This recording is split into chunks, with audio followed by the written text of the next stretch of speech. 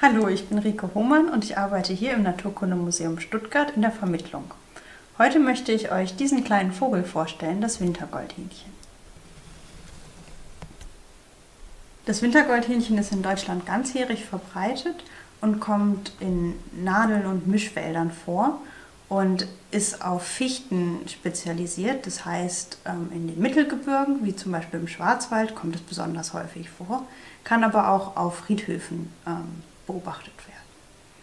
Das Wintergoldhähnchen ist eigentlich nicht selten, aber gar nicht so leicht zu sehen, weil es sich meistens in den Baumkronen aufhält.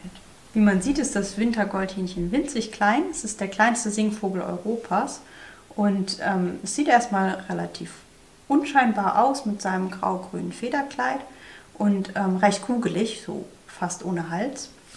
Aber auffällig ist hier der Scheitelstreif der auch ein bisschen aussieht wie eine kleine Krone. Und das Wintergoldhähnchen heißt wissenschaftlich Regulus regulus, das heißt kleiner König. Das Wintergoldhähnchen ist sehr geschäftig. Es verbringt ungefähr 90 Prozent des Tages mit Nahrungssuche und es frisst vor allem ähm, Spinnen und kleine Insekten. Und die sucht es sich hier am Stamm oder so auf der Unterseite von, ähm, von Nadeln, von Nadelbäumen. Pro Tag muss das Wintergoldhähnchen ungefähr sein eigenes Körpergewicht an Nahrung zu sich nehmen. Das Wintergoldhühnchen brütet zweimal im Jahr und dabei sind beide Elternteile sehr gefragt. Während das Männchen noch die erste Brut umsorgt, legt das Weibchen in einem zweiten Nest schon weitere acht bis elf Eier und brütet die aus. Wenn man in der Nähe von Fichten ein ganz hohes Fiepsen hört, dann ist das sehr wahrscheinlich das Wintergoldhähnchen. Ähm, mit etwas Glück kann man dann in den Baumkronen auch die kleinen Vögel sehen, wie sie zwischen den Ästen rumhuschen.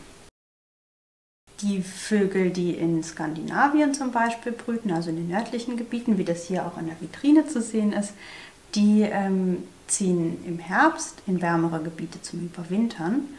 Und man traut es den kleinen Vögeln vielleicht gar nicht zu, aber sie können am Tag so 250 Kilometer zurücklegen und fliegen dabei auch über die offene Nordsee. Raus in die Wälder, im Moment nur zu zweit und viel Spaß beim Entdecken.